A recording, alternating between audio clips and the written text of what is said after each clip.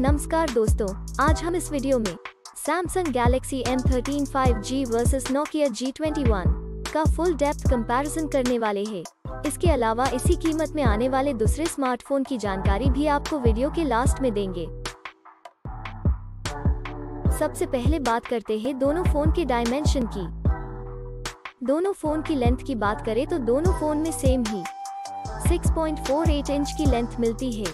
With की बात करें तो Galaxy M13 5G में 3.01 इंच जबकि Nokia G21 में 2.99 इंच की विथ मिलती है, जो कि Galaxy M13 5G से कम है।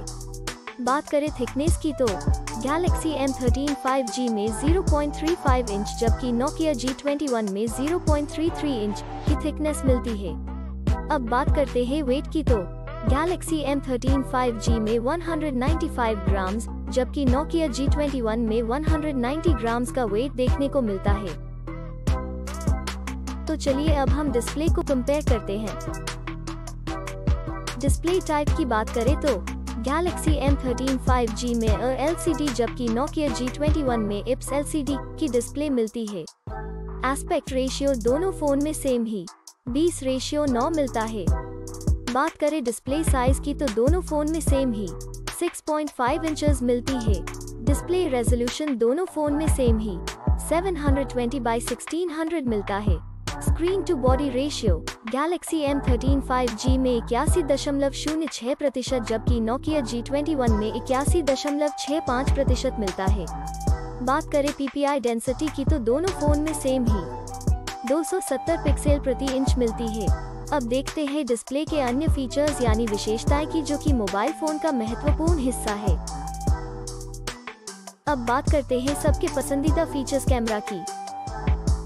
दोस्तों, सबसे पहले बात करें मैन कैमरा की तो गैलेक्सी M13 5G में दो कैमरा देखने को मिलता है, जिसमें कि प्राइमरी कैमरा और आखिर में डेप्थ कैमरा देखने को मिलता है, और नोकिया G21 की बात करें तो इसमें तीन कैमरा देखने को मिलता है। जिसमें कि प्राइमरी कैमरा मैक्रो कैमरा और आखिर में डेप्थ कैमरा देखने को मिलता है।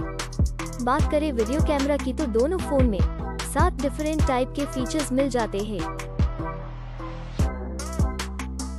अब बात करें फ्रंट कैमरा यानी कि सेल्फी कैमरा की तो गैलेक्सी M13 5G में सिंगल कैमरा देखने को मिलता है, जिसमें कि चार डिफरेंट फीचर्स मिलते हैं और नोकिया G21 में भी सिंगल कैमरा देखने को मिलता है।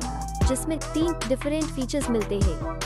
आइए अब बात करते हैं हार्डवेयर के बारे में जिसमें हम सीपीयू, जीपीयू, रैम की इंफॉर्मेशन देखते हैं। हार्डवेयर में सबसे पहले सीपीयू जो कि स्पीड के हिसाब से देखा जाए तो फ़ोन में सबसे इम्पोर्टेंट पार्ट है उसकी डिटेल्स देखते हैं। जीपीयू की बात करें तो गैलेक्सी M13 5G में माली G57 MC2 जबकि नोकिया G21 में माली G57 मिलता है। चिपसेट की बात करें तो गैलेक्सी M13 5G में MediaTek Dimensity 700 MT6833 और Nokia G21 में Unisoc T606 मिलता है। बात करें रैम की तो दोनों फ़ोन में सेम ही, दो वेरिएंट देखने को मिलता है और दोनों फ़ोन में सेम ही चार गीगा गीगाबाइट छह गीगाबाइट की रैम मिलती है।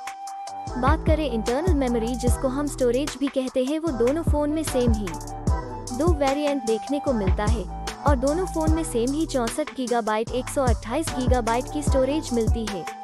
एक्सपैंडेबल मेमोरी की बात करें तो Galaxy M13 5G में अप टू 1 टेराबाइट जबकि Nokia G21 में up to five hundred 512 gigabytes है।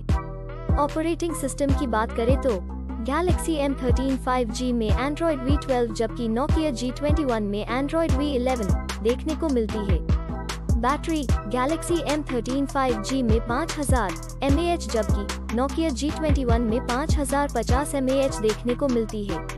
आइए अब मेन फीचर को देखते हैं।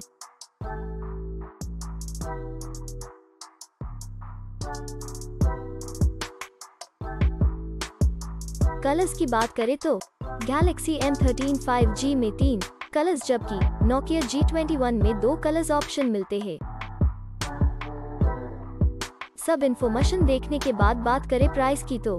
गैलेक्सी M13 5G में दो वेरिएंट देखने को मिलते हैं, जो कि गीगा बाइट रेम चौसठ गीगाबाइट स्टोरेज के साथ तेरह हज़ार नौ सौ निन्यानवे रूपीज छह गीगाबाइट रैम 128 गीगाबाइट स्टोरेज के साथ पंद्रह हज़ार नौ सौ निन्यानवे रूपीज में मिल जाता है। वही अगर बात करें नोकिया जी ट्वेंटी वन की तो उसमें दो वेरिएंट देखने को मिलते हैं, जो कि चार गीगाबाइट रैम, चौसठ गीगाबाइट स्टोरेज के साथ बारह हज़ार नौ सौ निन्यानवे रूपीज छह गीगाबाइट रैम अट्ठाईस गीगाबाइट स्टोरेज के साथ चौदह हज़ार नौ सौ निन्यानवे रूपीज में मिलते हैं।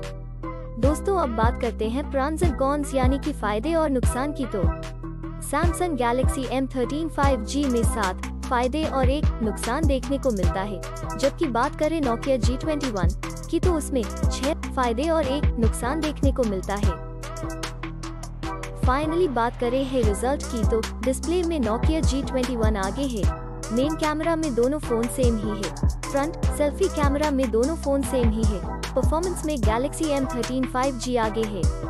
दोस्तों अब हम सेम प्राइस में आने वाले दूसरे फ़ोन को भी देख लेते हैं। पहले कॉम्पिटिटर फ़ोन की बात करें तो उसमें Realme 9 Pro 5G है, दूसरा Xiaomi Redmi 10A है, तीसरा Oppo A16K है और लास्ट कॉम्पिटिटर फ़ोन की बात करें तो उसमें Vivo Y28T है। और ये सारे फ़ोन की डिटेल्स आपको डिस्क्रिप्शन में मिल जाएगी। दोस्तों, अगर आपको ये वीडियो अच्छा लगा है या आपके किसी भी काम में आया है तो प्लीज़ लाइक करना मत भूलना।